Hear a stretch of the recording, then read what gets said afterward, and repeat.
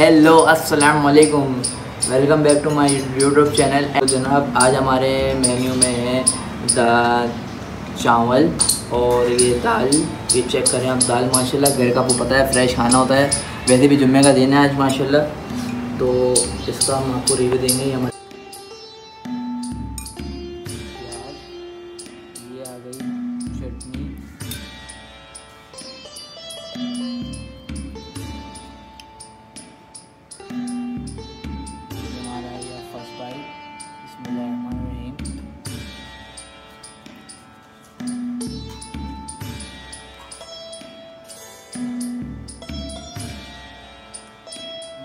आपको तो पता है फ्राइज होता है और माशाल्लाह से मज़ेदार खाना होता है